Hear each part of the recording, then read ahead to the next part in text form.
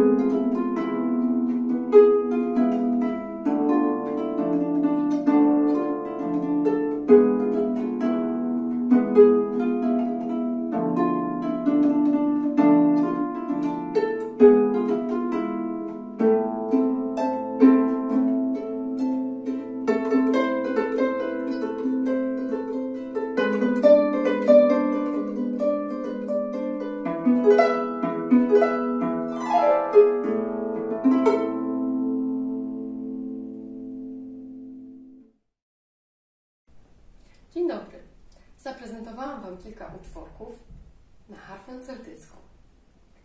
Abyście się przekonali, jak różnorodny i ciekawy może być repertuar na tym instrumencie. Dźwięk harfy często może zastąpić gitarowy w odpowiedni sposób, y, jeśli wydobywamy go przy pudle rezonansowym. Szczegóły możecie znaleźć na mojej stronie www.harfaceltycka.pl Gra na harfie poprawia pamięć, pobudza kreatywność, doskonali koncentrację uwagi, a przede wszystkim odstresowuje. Zapraszam do kontaktu dzieci i młodzież z Raciborza i okolic, aby rozpoczęły swoją przygodę z tym przepięknym instrumentem. Na początek nie ma konieczności posiadania własnej harfy. Ponadto zapewniam, że mała harfa nie jest bardzo kosztowna. Można ją również wypożyczyć. Naprawdę warto rozpocząć przygodę z harfą.